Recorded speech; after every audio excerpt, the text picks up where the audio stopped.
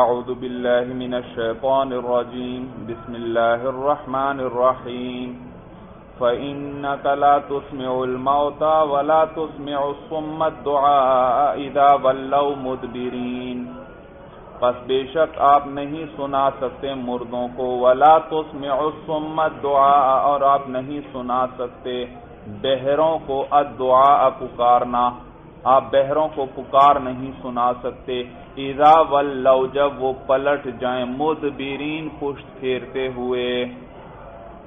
یہ مدبرین حال واقع ہو رہا ہے ولو کے اندر ولو میں جو ضمیر ہے بھائی واؤ یہ واؤ جمع کی جو ضمیر ہے، اس سے کیا بن رہا ہے یہ؟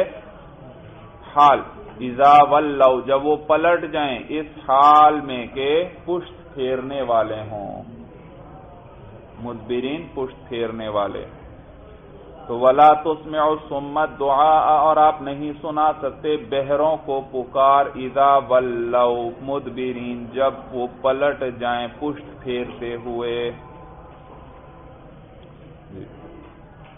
تو میں نے آپ کو بتلایا تھا کہ بھئی اگر بہرے کا رخ آپ کی طرف ہو، تو پھر کچھ نہ کچھ وہ گھونٹوں اور ہاتھ وغیرہ کے اشارے سے کچھ بات سمجھ جائے گا۔ لیکن اگر اس کا رخ وہ پشت پھیر لے، رخ ہی دوسری طرف کر لے، تو اب اس کے سمجھنے کی کوئی صورت نہیں ہے بھائی۔ تو یہاں پر اللہ فرما رہے فین نقلا تسم موتا موتا سے مراد کفار ہیں بھائی، یاد رکھیے۔ کفار۔ اور ان کو مردہ کہا گیا، کیونکہ ایمان جو ہے وہ دراصل زندگی ہے اور کفر موت کی طرح ہے بھائی۔ تو یہ لوگ بھی مردوں کی طرح ہے اور مردوں کو آپ نہیں سنا سکتے یعنی اس سے ان کو کوئی نفع نہیں ہے، وہ اس کا کوئی جواب نہیں دے سکتے بھائی۔ آگے ولاتس میں مت دعا اور اسی طرح ان کفار کو کیا قرار دیا؟ بہرا قرار دیا کہ یہ بہرے ہیں بھائی۔ جیسا بہرے کو کچھ سنائی نہیں دیتا اس طرح یہ کفار ہیں یعنی یہ سنتے تو ہیں، لیکن اپنے کفر اور کفر کی وجہ سے اور ضد اور عناد کی وجہ سے اسی طرح سنی کو انسنی کر دیتے ہیں، ان پہ کوئی اثر۔ تو یہ بہروں ہی کی طرح ہیں جنہیں کوئی لفظ سنائی نہیں دیتا اور وہ پھر وہ جب سننا بھی نہ چاہے خاص طور پر پشت پھیر لے بھائی پھر یہاں پر میں نے آپ کو سماع موتا کے مسئلے کی تفصیل کچھ ذکر کی تھی بھائی فین نقلاتس میں علما ہوتا پیغمبر، آپ مردوں کو نہیں سنا سکتے بھائی، نہیں سنا سکتے۔ بھائی، دیکھیے دنیا کے اندر جو کچھ بھی ہے وہ اللہ کی مشیت اور ارادے سے ہے۔ اللہ چاہیں چاہتے ہیں تو ہوتا ہے، اللہ نہ چاہیں تو نہیں ہو سکتا بھائی۔ لیکن عام زندگی کے اندر کوئی شخص اپنے اختیار سے کوئی فیل کرے اور ایسا فیل ہے فیل عادی ہے یعنی عادتاً اور لوگ بھی اس طرح کر سکتے ہیں۔ تو اس فیل کی نسبت اس بندے کی طرف کی جاتی ہے۔ مثلا کسی نے کسی کو گولی ماری تو اور قتل کر دیا تو کہیں گے اس آدمی نے اس کو کیا کیا ہے؟ قتل کیا ہے۔ لیکن اگر فیل سے کوئی کوئی غیر معمولی قسم کا فیل ہو تو پھر جو عام لوگوں سے ممکن نہ ہو تو پھر اس کی نسبت اللہ کی طرف کی جاتی ہے بھائی۔ جیسے قرآن میں اللہ فرماتے ہیں، وما رمیتا از رمیتا ولا کن اللہ رما ایک غزبے کے اندر حضور صلی اللہ علیہ وسلم نے ایک مٹھی کنکریاں اور ریت وغیرہ اٹھائی اور دشمن کی طرف پھینک دی اور اس، وہ سارے لشکر والوں کی آنکھوں میں پڑی اور پھر ان کو شکست ہو گئی۔ تو اللہ کیا فرما رہے ہیں؟ بھائی دیکھیے، یہ کام انسان کے بس کی بات نہیں ہے کہ ایک مٹھی ریت یا کنکریاں وغیرہ اٹھائے اور وہ سارے لشکر والوں کی آنکھوں تک پہنچ جائیں بھائی ان سب کو جا کر لگیں۔ تو یہ اللہ ہی کا فیل ہے، تو لہذا نسبت کس کی طرف کی جائے گی؟ اللہ کی طرف یہاں نسبت کی جائے گی، کیونکہ اس پہ جو نتیجہ مرتب ہوا وہ غیر معمولی تھا، ہر ایک اس طرح نہیں کر سکتا۔ چنانچہ اللہ فرماتے ہیں وہ رمیت از رمیتا اور آپ نے نہیں پھینکا اس رمیتا جب آپ نے پھینکا تھا۔ ولا کن اللہ رما بلکہ اللہ نے پھینکا تھا۔ تو پھینکنے کی نسبت کس کی طرف کر دی گئی؟ اللہ کی طرف، کیونکہ جب، کیونکہ اس پہ جو نتیجہ مرتب ہوا وہ بڑا غیر معمولی تھا، عادتاً اس طرح ہو نہیں سکتا بھائی۔ تو لہٰذا عام فیل ہو تو اس کی نسبت بندے کی طرف کرتے ہیں، لیکن اگر نتیجہ غیر معمولی ہو تو پھر نسبت کس کی طرف کی جاتی ہے؟ اللہ کی طرف کی جاتی ہے بھائی۔ اگرچہ ہے سب کچھ اللہ ہی کے ارادے اور قدرت سے۔ وہ گولی اس شخص نے دوسرے کو مثلا ماری، اس سے وہ مر گیا تو اس شخص کو قاتل کہیں گے۔ اگرچہ ہے وہ بھی اللہ کی قدرت سے، لیکن وہ غیر معمولی نہیں، عادتاً کوئی بھی اس طرح فیل کرے گا، دوسرے کو گولی مارے گا تو وہ کیا ہوگا؟ مر جائے گا بھائی۔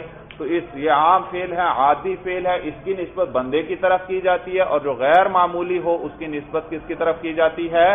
اللہ کی طرف کی جاتی ہے۔ تو یہاں پر بھی اسی طرح کسی مردے کو بات سنانا، یہ کسی انسان کے بس کی بات نہیں ہے بھائی۔ وہ مردہ ہے، روح نکل چکی ہے، بے جان دھڑ پڑا ہوا ہے۔ وہ یقیناً کوئی بات سننے کی صلاحیت نہیں رکھتا بھائی، صلاحیت نہیں رکھتا۔ تو یہاں بھی یہ کہہ رہا ہے، آپ مردوں کو نہیں سنا سکتے بھائی، تو اس ماں کی نفی ہے، سنا نہیں سکتے۔ ہاں باقی اللہ سنائے تو اس سے کوئی انکار نہیں کر سکتا بھائی۔ سمجھ میں آئی بات؟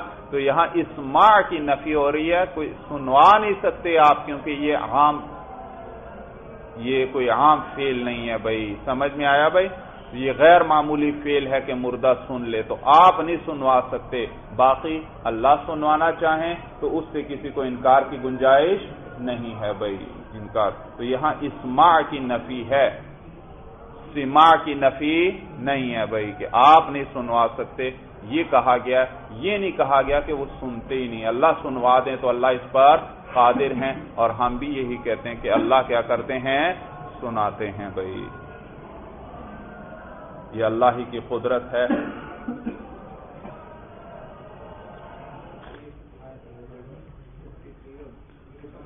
تو یاد رکھیے اس میں جو اختلاف ہے مردوں کے سننے کے اندر بھائی، وہ بعض علماء کیا فرماتے ہیں کہ نہیں سنتے اور بعض کس طرف چلے گئے ہیں کہ مردے سنتے ہیں، دونوں طرف اپنے اپنے دلائل پیش کرتے ہیں اور نصوص قرآن و حدیث ہی کو دلیلوں کے طور پر پیش کرتے ہیں۔ تو لہٰذا یہ صحابہ کے دور سے اختلافی مسئلہ چلا رہا ہے۔ اس کی وجہ سے آپس کا اختلاف نہیں ہونا چاہیے بھائی۔ سمجھ میں آیا بھائی؟ یہ ایک اختلاف، کیونکہ آخرت میں یہ نہیں پوچھا جائے گا بھائی کہ مردے سنتے ہیں یا نہیں سنتے۔ بہرحال یہ ایک علمی اختلافی مسئلہ ہے، تو اس کو اسی کے حد تک رکھنا چاہیے۔ لیکن افسوس کی بات ہے کہ اس کی وجہ سے آج کل اتنا ایک دوسرے پر تان و تشنی اور اعتراضات کیے جاتے ہیں۔ تو اللہ اس قسم کے اختلافات سے ہم سب کی حفاظت فرمائے بھائی۔ یہ کوئی ایسی چیز نہیں جس کا تعلق آپ سے، جس کے بارے میں آپ سے آخرت میں پوچھا جائے گا اور اس، تو بلا وجہ ایک دوسرے پر تان و تشنی کرنا اور اعتراضات کرنا۔ تو یہ عام مردوں کے اندر ہے یہ اختلاف بھائی۔ اجتماع موتا کے بارے میں جو اختلاف ہے، وہ عام مردوں کے بارے میں ہے۔ بعض علماء اس طرف گئے ہیں کہ مردے نہیں سنتے اور بعض علماء اس طرف گئے ہیں کہ مردے سنتے ہیں۔ تو یہ سماع موتا کا جو اختلاف ہے، وہ عام مردوں کے بارے میں ہے۔ باقی انبیاء کے سماع کے اندر کوئی اختلاف نہیں ہے بھائی، سمجھ میں آیا؟ انبیاء کے سماع کے بارے میں کوئی اختلاف نہیں ہے، کیونکہ بال اجماع تمام علماء اسلام کے نزدیک بھائی، انبیاء اپنی قبروں میں زندہ ہیں بھائی۔ اپنی قبروں میں زندہ ہیں اور باقاعدہ نمازیں پڑھتے ہیں آزان و اقامت کے ساتھ نماز ادا کرتے ہیں۔ اور اس بارے میں کثرت سے احادیث صحیحہ آئی ہیں کہ حضور صلی اللہ علیہ وسلم پر جو درود و سلام دور سے پڑھا جاتا ہے، وہ ان کی خدمت میں پیش کیا جاتا ہے اور جو آپ کے پاس پڑھا جاتا ہے، قبر کے پاس، قبر مبارک کے پاس، تو اس کو آپ باقاعدہ سنتے ہیں اور باقاعدہ اس کا جواب دیتے ہیں۔ سلام کا کیا کرتے ہیں؟ باقاعدہ جواب دیتے ہیں، تو اس سماع انبیاء کے اندر کوئی اختلاف نہیں ہے بھائی۔ یہاں تک کہ فقہا نے بھی لکھا ہے بھائی کہ جو شخص حضور صلی اللہ علیہ وسلم کی قبر مبارک کے پاس حاضر ہو اور وہاں حاضری کا اللہ موقع نصیب فرمائے، اللہ ہم سب کو وہاں بار بار حاضری کی سعادت نصیب فرمائے بھائی۔ تو جسے اللہ وہاں فقہ نے لکھا ہے، جسے اللہ وہاں حاضری کی سعادت نصیب فرمائے تو اسے چاہیے کہ اپنی شفاعت کی بھی درخواست کرے کہ اے اللہ کے پیغمبر، آپ یوم آخرت میں قیامت کے دن ہماری شفاعت فرمائیے گا۔ قیامت کے دن اللہ کے دربار جلال و جمال میں ہماری شفاعت فرمائیے گا۔ ہم آپ سے درخواست کرتے ہیں۔ سمجھ میں آیا بھائی؟ تو حضور صلی اللہ علیہ وسلم کی قبر مبارک کے پاس جو صلاح و سلام پڑھا جائے، اس کو حضور صلی اللہ علیہ وسلم باقاعدہ سنتے ہیں بھائی سنتے ہیں۔ تو جو قبروں میں انبیاء کو حیات حاصل ہے، وہ اسی دنیاوی زندگی کی طرح، بلکہ کئی اعتبار سے اس سے بھی بڑھ کر ہے بھائی۔ سمجھ میں آیا؟ دنیا میں تو انسان جب سنتا ہے، ایک کی بات ہی سن رہا ہوتا ہے، اس کی طرف توجہ ہوتی ہے۔ لیکن قبر کے پاس سینکڑوں لوگ کھڑے ہیں، سب سلاۃ و سلام پڑھ رہے ہیں اور حضور صلی اللہ علیہ وسلم اور بڑی آہستہ آواز میں پڑھ رہے ہوتے ہیں۔ لیکن حضور صلی اللہ علیہ وسلم سب سنتے ہیں، بھائی، اس بارے میں احادیث صحیحہ آئی ہیں بہت سی، بھائی۔ چنانچہ والد صاحب ایک مرتبہ عمرے کے لیے جانے لگے۔ تو درس ترمیزی کے اندر بھائی دورہ حدیث شریف کے طلباء سے فرمانے لگے کہ میں عمرے کے لیے جا رہا ہوں۔ آپ حضرات کے لیے کیا لاؤں وہاں سے بھائی؟ ایک مرتبہ کہا، چونکہ ان کا جلال بہت زیادہ تھا اور طلباء خاموش بیٹھے ہیں، کسی کی ہمت نہیں، کوئی بات کرے، پھر کہا، بھائی کیا لاؤں آپ حضرات کے لیے؟ پھر خاموش رہے طلبا پھر تیسری مرتبہ فرمایا۔ تو ایک طالب علم نے ہمت کی اور کہا کہ استادی، وہاں پر حضور صلی اللہ علیہ وسلم کے روزہ مبارک پر ہمارا سلام عرض کر دیجیے گا۔ جب ایک نے کہا تو باقیوں نے کی بھی ہمت ہو گئی، سارے بول پڑے کہ استادی، ہمارا بھی سلام عرض کر دیجیے گا۔ فرمایا، بہت اچھا۔ چنانچہ عمرے کے لیے تشریف لے گئے بھائی۔ عمرے سے جب واپسی ہوئی، پندرہ پندرہ بیس دن کے بعد واپس آئے تو سبق کے اندر طلبا سے فرمانے لگے۔ عمرے کا بھی سنایا، سفر سنایا اور فرمایا کہ بھائی میں نے آپ لوگوں کا سلام، حضور صلی اللہ علیہ وسلم کو سامنے کے روز اقدس پر آپ لوگوں کا سلام پیش کیا تھا۔ اور پھر عجیب انداز میں فرمانے لگے کہ میں نے وہاں پر کہا کہ اللہ کے نبی، اے اللہ کے پیغمبر وہ غاجی، وہ غریب و مسکین طلبا جو سارا سال قال اللہ، قال رسول پڑھتے رہتے ہیں، اے اللہ کے پیغمبر، وہ سب بھی آپ کی خدمت میں سلام عرض کر رہے تھے۔ اور پھر فرمانے لگے، واللہ، ثم واللہ، میں نے اپنے کانوں سے سنا کہ حضور صلی اللہ علیہ وسلم نے آپ سب کے سلام کا جواب دیا بھائی طلبا نے یہ سنا تو ان کی چیخیں نکل گئیں بھائی تو ان کی عجیب شخصیت تھی بھائی، عجیب ان۔ اور فقہا نے لکھا ہے، جیسے میں نے ابھی بیان کیا، کہ حضور صلی اللہ علیہ وسلم کی قبر مبارک پر جو حاضر ہو، اسے اپنی شفاعت کی درخواست بھی کرنی چاہیے کہ اللہ کے رسول قیامت کے دن آپ ہماری شفاعت فرمائیے گا۔ والد صاحب کا ایک خواب ایک جگہ انہوں نے لکھا ہوا تھا، وفات کے بعد میں نے کاغذات میں ایک دفعہ ملا مجھے، لکھا ہوا تھا اس میں۔ کہ میں نے حضور صلی اللہ علیہ وسلم کی زیارت ہوئی خواب میں مجھے اور اور بھی باتیں تھیں، اس میں ایک یہ بات لکھی ہوئی تھی کہ میں نے حضور صلی اللہ علیہ وسلم سے درخواست کی کہ اللہ کے رسول، اے اللہ کے پیغمبر، قیامت کے دن آپ ہماری بھی میری بھی شفاعت فرمائیں گے۔ تو حضور صلی اللہ علیہ وسلم فرمانے لگے کہ آپ کے لیے تو میری شفاعت واجب ہو چکی ہے بھائی۔ کہتے ہیں مجھے اتنی خوشی ہوئی کہ میں بیان نہیں کر سکتا اور کہ میں تو درخواست کر رہا ہوں سفارش سفارش کی اور شفاعت کی۔ اور حضور صلی اللہ علیہ وسلم کس سے بڑھ کر یہ فرما رہے ہیں کہ آپ کے لیے تو میری سفارش اور شفاعت واجب ہو چکی ہے۔ بھائی، واجب ہو چکی ہے۔ ہم ضرور کریں گے بھائی سفارش۔ سمجھ میں آئے بھائی؟ من کان اللہ کان اللہ لہو، جو اللہ والا ہو جاتا ہے، اللہ اس کے ہو جاتے ہیں۔ فَإِنَّكَ لَا تُسْمِعُ الْمَوْتَى بس بے شک آپ نہیں سنا سکتے مردوں کو، وَلَا تُسْمِعُ السُّمَّ الدُّعَاءَ، اور آپ تو مردوں کو نہیں سنا سکتے۔ یا مراد یہ ہے، ایسا سنانا، جس سے، جس کے، اس سے وہ نفع بھی اٹھا سکے۔ کوئی بات کہیں، کوئی بات کی جائے، اس پر وہ عمل بھی کر سکے، نفع بھی اٹھا سکے، ایسا نہیں۔ یا یہ کہ وہ جواب، ایسا سنانا کہ وہ جواب بھی دے سکیں بھائی، تو اس طرح آپ نہیں سنا سکتے۔ فَإِنَّكَ لَا تُسْمِعُ الْمَوْتَى پس بے شک آپ مردوں کو نہیں سنا سکتے۔ وَلَا تُسْمِعُ السُّمَّ دُعَاءَ اور نہیں سنا سکتے آپ بہروں کو پکار۔ اِذَا وَاللَّوْ مُدْبِرِينَ، جب وہ پلٹ جائیں، پشت پھیرتے ہوئے۔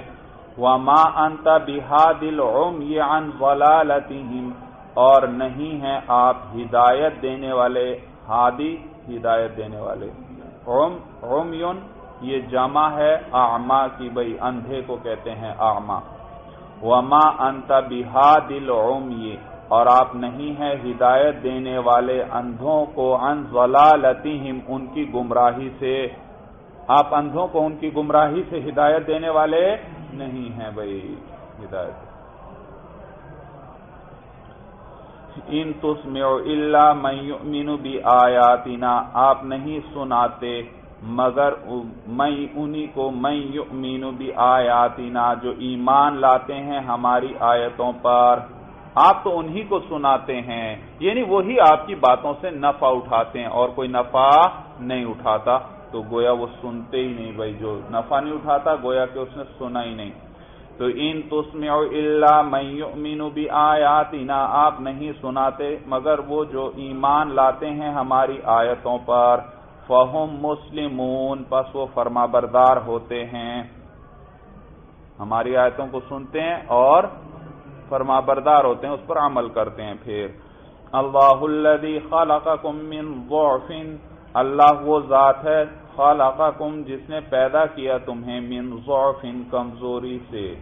ثم جعل من بعد ضعف قوتا، پھر کر دیا، بنا دیا من بعد ضعف کمزوری کے بعد قوتن قوت کو۔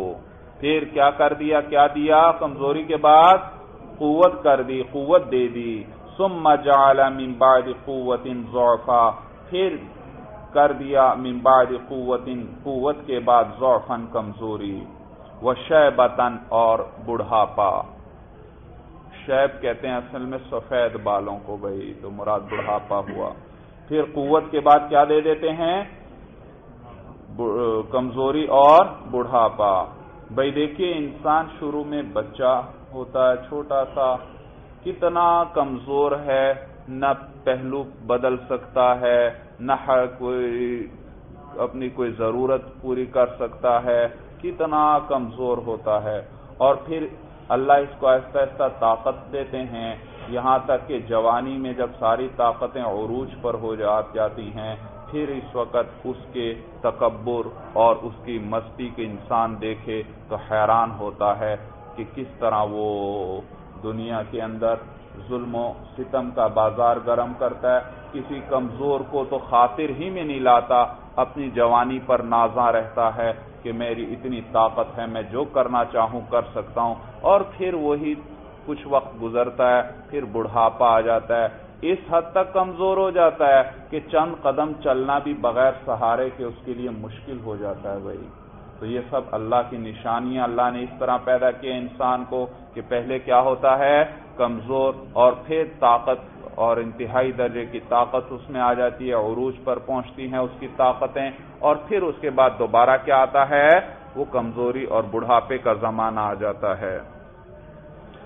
تو دیکھیے بھائی، اللہ اسی کو ذکر فرما رہے ہیں، اللہ الذي خلقكم من ضعف اللہ وہ ذات ہے جس نے پیدا کیا تم کو ضعف کمزوری سے۔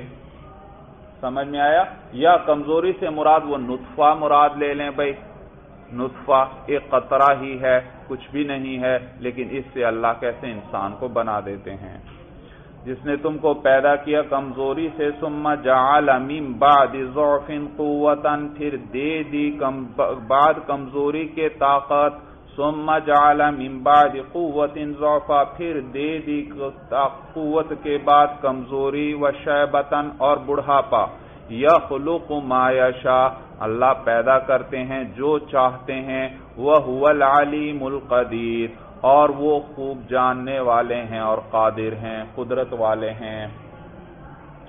وَيَوْمَ تَقُومُ السَّاعَةُ يُقْسِمُ الْمُجْرِمُونَ، اور وہ اس دن، وہ دن کے جب قائم ہوگی قیامت، اور وہ دن کے جب تقوم قائم ہوگی الساعت قیامت یقسم المجرمون تو قسم اٹھائیں گے مجرم لوگ یعنی گناہگار قسم اٹھائیں گے یعنی کفار وغیرہ۔ ما لبسو غیر ساعت کہ وہ نہیں ٹھہرے سوائے ایک گھڑی کے۔ یعنی دنیا کے اندر اور قبر میں تو ہم ایک گھڑی ہی رہے، وہ وقت جو گزر گیا تو اس دنیا کے اندر جو ان کو لمبی زندگی دی گئی تھی اور قبر میں اتنا عرصہ رہے، قیامت تک اس سب کا انکار کر دیں گے۔ اور کیا کہیں گے؟ مال بسو غیر ساعت ان کے وہ نہیں رہے سوائے ایک گھڑی کے۔ دنیا میں اور قبر میں بھائی، دنیا میں اور قبر میں۔ کذالک کانو یؤفکون۔ اسی طرح وہ تھے، الٹے چلائے جاتے۔ اسی طرح وہ الٹے پھیرے جاتے تھے، الٹے پلٹائے جاتے تھے، الٹے چلائے جاتے تھے۔ حق کو چھوڑ کر باطل کی طرف بئی کذالک کانو یؤفکون۔ اسی طرح وہ الٹے چلائے جاتے تھے۔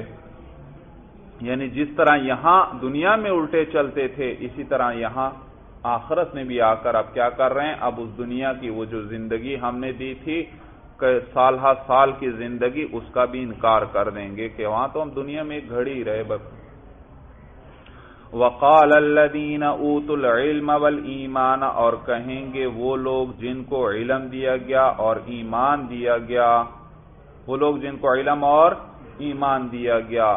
یعنی مومنین، انبیاء اور اسی طرح ملائکہ، یہ ان سے کہیں گے، لقد لبستم فی کتاب اللہ الى یوم البعث۔ تحقیق تم ٹھہرے رہے فی کتاب اللہ اللہ کی کتاب میں الى یوم البعث، اٹھنے کے دن تک۔ باس کا معنی اٹھنا گئی اٹھنے کے دن تک۔ یہ وہ تو کیا کہہ رہے ہیں؟ ہم تو دنیا میں اور قبر میں ایک گھڑی ہی رہے ہیں، تھوڑی سی دیر ہی رہے ہیں۔ تو یہ ایمان والے اور علم والے ان سے کہیں گے، لقد لبس تم تحقیق تم رہے ہو الا یوم الباسی کب تک رہے ہو؟ اٹھنے کے دن تک یعنی قیامت کے دن تک تم رہے ہو۔ فی کتاب اللہ۔ اللہ کی کتاب میں یعنی اللہ کی کتاب کے موافق۔ جیسا اللہ نے اپنی کتاب میں لکھا تھا، اسی کے موافق تم دنیا میں کب تک رہے ہو؟ اٹھنے کے دن تک رہے ہو۔ فی کتاب اللہ کا کیا معنی، کیا مراد ہے؟ اللہ کی کتاب کے مطابق، اللہ کی کتاب کے موافق۔ یعنی جیسا اللہ نے اپنی کتاب میں لکھا تھا، اسی کے مطابق تم دنیا میں اٹھنے کے دن تک رہے ہو۔ اور کتاب اللہ سے مراد ہے لوح محفوظ بھائی۔ کیا مراد ہے؟ لوح محفوظ میں اللہ نے ہر چیز درج فرما دی، ہر چیز لکھ دی بھائی۔ تو اس میں یہ سب کچھ ان کا لکھ دیا۔ تو وہ ایمان والے ان سے کیا کہیں گے؟ لقد لبس تم فی کتاب اللہ، تحقیق تم ٹھہرے۔ فی کتاب اللہ اللہ کی کتاب میں ہے۔ یہ جیسے یعنی کہ اللہ کی کتاب میں ہے، اس کے مطابق یوم الباسی کب تک؟ اٹھتے ہیں یعنی قیامت کے دن تک بھائی۔ جو تو جیسا اللہ نے لکھا تھا، اس کے مطابق تم اٹھنے کے دن تک دنیا میں رہے ہو۔ فہاد یوم الباسی یہ ہے اٹھنے کا دن بھائی۔ یعنی یہ ہے قیامت کا دن۔ ولاکن کن تم لاتا مگر تم لوگ نہیں جانتے تھے۔ مگر تم لوگ نہیں جانتے تھے۔ ولاکن حروف مشبہ بل فیل ہے۔ حرف مشبہ بل فیل ہے۔ یہ ایک اسم چاہتا ہے اور ایک خبر۔ اپنے اسم کو کیا دیتا ہے؟ نصب، ان اور انم کی طرح۔ اور خبر کو رفع۔ تو یہ جو کم ضمیر ساتھ ہے، یہ اس کا اسم ہے، یہ منصوب ہے محلن کیونکہ ضمیر مبنیات میں سے ہے۔ اور کن تم لا تعلمون، یہ پورا جملہ اس کی خبر ہے۔ اس پورے جملے میں پھر کن تم یہ کانا فیل افعال ناقصہ ہے۔ اور تم اس کے ساتھ ضمیر ہے۔ کانا کیا کرتا ہے؟ اپنے اسم کو رفع اور خبر کو نصب دیتا ہے۔ تو یہ تم ضمیر جو کن تم میں تم ضمیر ہے، یہ کیا ہے؟ یہ مرفو ہے، محلن اس کا اسم ہے۔ اور لا تعلمون، یہ پورا جملہ فیل اپنے فائل سے مل کر پورا جملہ کیا بنے گا؟ کانا کی خبر، اور یہ منصوب ہے۔ کیا ہے؟ منصوب ہے۔ لیکن اس پہ نصب ظاہر نہیں ہوگا، کیونکہ یہ جملہ ہے اور جملہ مبنی ہوا کرتا ہے۔ تو یہ محلن منصوب ہے۔ جملہ کیا ہوتا ہے؟ مبنی ہوا کرتا ہے۔ بعضوں نے کہا مبنی الافل ہے، اور مبنی پر آپ جانتے ہیں اعراب ظاہر نہیں ہوتا بھائی۔ ہاں اس کی جگہ کوئی اسم آتا تو پھر، اور مورب ہوتا تو پھر اس پر اعراب ظاہر ہو جاتا بھائی۔ سورج سمجھ میں آ گئی سب کو۔ ولا کن کم کم تم لاتا لمون مگر تم لوگ نہیں جانتے تھے۔ یہ ہے قیامت کا دن، مگر تم نہیں جانتے تھے۔ فَيَوْمَئِذٍ لَا يَنْفَعُ الَّذِينَ ظَلَمُوا مَعَذِرَتُهُمْ وَلَا هُمْ يُسْتَعْتَبُونَ۔ پس اس دن نفع نہیں دے گا۔ ان لوگوں کو ظلموں جنہوں نے ظلم کیا۔ ان لوگوں کو نفع نہیں دے گا۔ کیا چیز نفع نہیں دے گی؟ یہ الزین ظلموں یہ مفعول ہے۔ نفع نہیں دے گا ان لوگوں کو جنہوں نے ظلم کیا۔ کیا چیز نفع نہیں دے گی؟ معذرت یہ فائل آیا۔ ان کا معذرت کرنا۔ ان کا معذرت کرنا کوئی نفع نہیں دے گا۔ وَلَاهُمْ يُسْتَعْتَبُونَ اور نہ ہی ان سے اللہ کی رضا طلب کی جائے گی۔ نہ ان سے اللہ کی رضا طلب کی جائے گی۔ بھائی یستعتبون کا معنی سمجھ لو۔ آپ جانتے ہیں باب استفعال میں سین، عموماً سین طلب کے لیے آتا ہے۔ سین کس لیے آتا ہے؟ طلب کے لیے۔ اچھا۔ اور یہ جو یہاں سین طلب کے لیے ہے اور یستاد تو مانا ہوا طلب اتبا کیا ہوا؟ اتبا اتبا سے ہے یوستا تبون بھائی اتبا کیسے لکھتے ہیں؟ آئین ہے، تا ہے دو نقطوں والی، با اور اس کے ساتھ یا۔ اوپر کھڑی زبر آ جائے گا اتبا اتبا کہتے ہیں رضامندی اور خوشنودی کو۔ رضامندی اور خوشنودی کو۔ تو یوستا تبون کا معنی کیا ہوا؟ طلب اتبا رضامندی اور خوشنودی کا طلب کرنا اور مجھول کا سگا ہے یعنی طلب کروانا۔ رضامندی اور خوشی کو طلب کروانا۔ یعنی اسی سے ہے، یہ باب اس کا اعتاب ہے بھائی، اعتاب۔ آتب یعتبو اعتاب۔ آتب یعتبو اعتاب باب افعال ہے اور آپ نے پڑھا ہے کہ باب افعال کبھی سلب ماخذ کے لیے آتا ہے۔ کس کے لیے آتا ہے؟ سلب ماخذ۔ ماخذ کی نفی کرنے کے لیے آتا ہے۔ جیسے فلوس پیسوں کو کہتے ہیں۔ لیکن اسی کو باب افعال میں لے جاؤ۔ افلس یفلس افلاسن فہوا مفلس۔ مفلس، جس کے بعد پیسے ہوں یا نہ ہوں؟ نہ ہوں تو دیکھو، نفی کے لیے آیا۔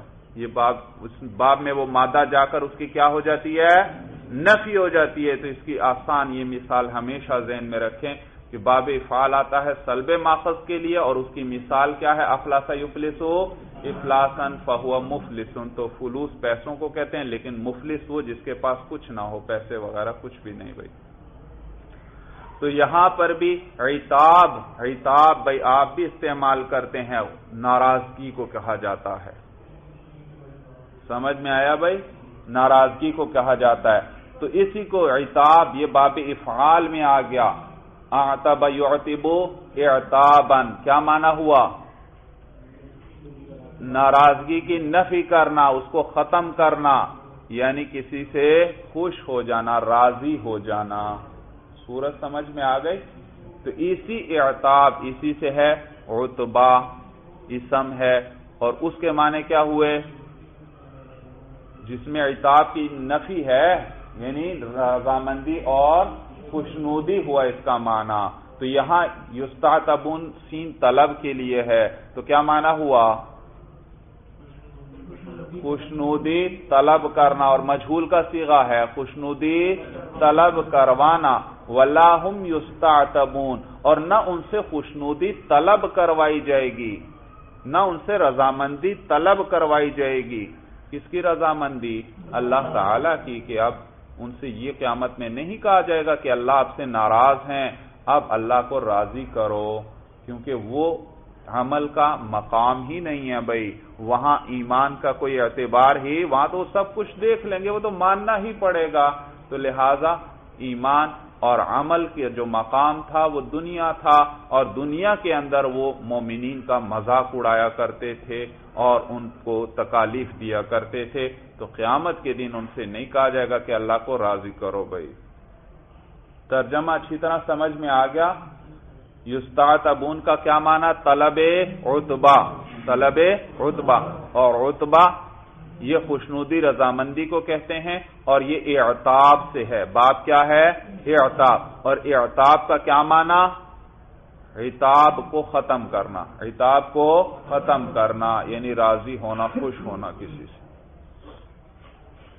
فیوم عید اللہ فعلدین ظلموا معذرتهم پس آج کے دن، پس اس دن پس اس دن لا ينفع الذین ظلموا، نفع نہیں دے گا ان لوگوں کو جنہوں نے ظلم کیا یعنی کفر کیا، شرک کیا، ان کو نفع نہیں دے گی۔ معذرتهم ان کی معذرت ولاحم یستعتبون، اور نہ ان سے رضامندی طلب کی جائے گی۔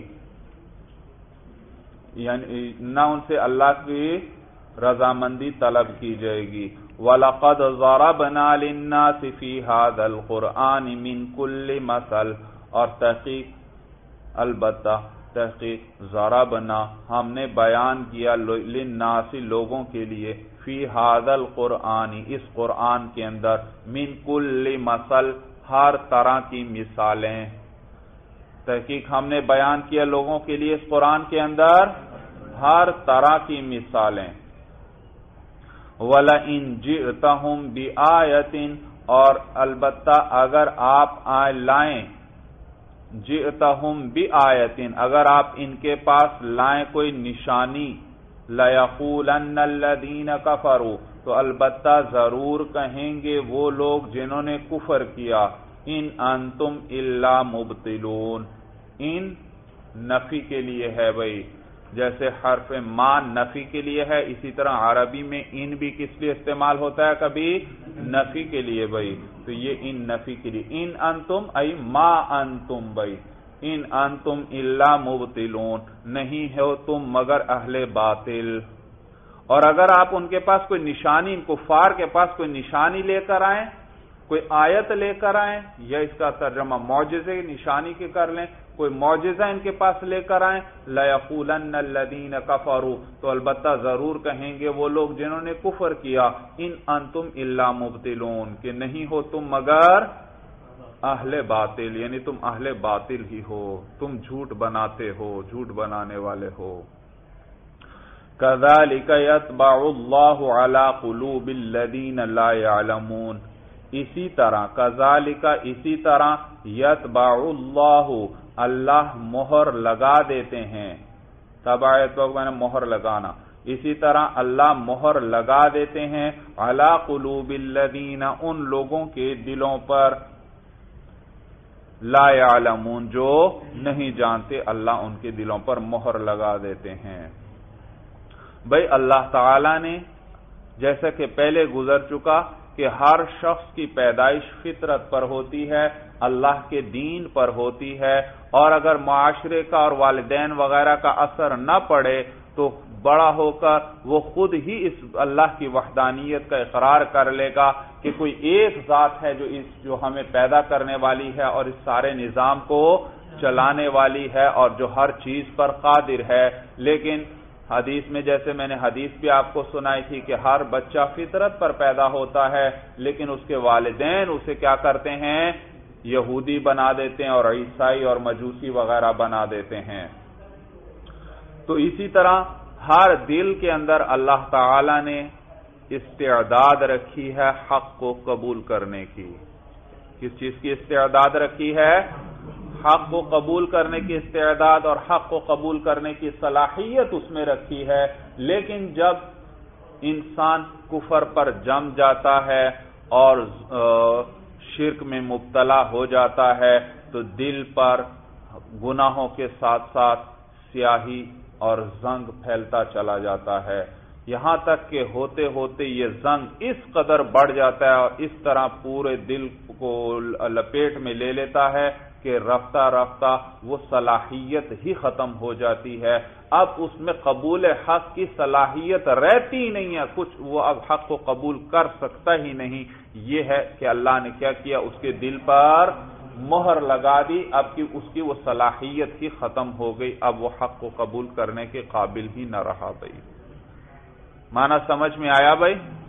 تو یہ مانا كذلك يطبع الله على قلوب الذين لا يعلمون اور اسی طرح اللہ مہر لگا دیتے ہیں ان لوگوں کے دلوں پر جو نہیں جانتے۔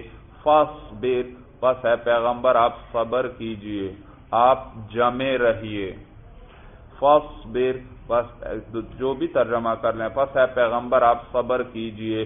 ان وعد اللہ حق۔ بے شک اللہ کا وعدہ سچا ہے۔ ولا يستخفنك الذين لا يوقنون اور آپ کو بے برداشت نہ بنا دیں الذين لا يوقنون وہ لوگ جو یقین نہیں رکھتے وہ لوگ جو وہ یقین نہیں رکھتے ایمان نہیں رکھتے کہ وہ آپ کو کہیں بے برداشت صبر کیجیے کہیں وہ آپ کو بے برداشت نہ بنا دیں استخف یا استخف کے معنی ہوتے ہیں کسی کو مشتعل کرنا، اس کے تحمل کو اور برداشت کو ختم کر دینا بھائی۔ فصبر پس اے پیغمبر، آپ صبر کیجیے، ان وعد اللہ حق، بے شک اللہ کا وعدہ سچا ہے۔ ولا يستخفنك الذين لا يوقنون۔ اور آپ کو بے برداشت نہ کر دیں وہ لوگ جو یقین نہیں رکھتے۔ یعنی یہ کفار اور مشکین وغیرہ ہر وقت آپ کو تکلیف دیتے رہتے ہیں، ہر بات پر آپ کو جھٹلاتے ہیں، آپ کی کوئی بات، کوئی آپ کی کسی بھی نشانی وغیرہ کو تسلیم نہیں کرتے اور تو اے پیغمبر، ان کی تکالیف پر رنجیدہ نہ ہو غمزدہ نہ ہو صبر سے کام لیجیے، آپ اپنا دعوت و تبلیغ کا کام اسی طرح جاری رکھیے اور خوب صبر سے کام لیجیے۔ کہیں ایسا نہ ہو کہ یہ ان کی تکالیف کی وجہ سے آپ بے برداشت نہ ہو جائیں، آپ کی برداشت ختم نہ ہو جائے بھائی۔ چلیے بس المرام اللہ عالم بحقیقت الکلام۔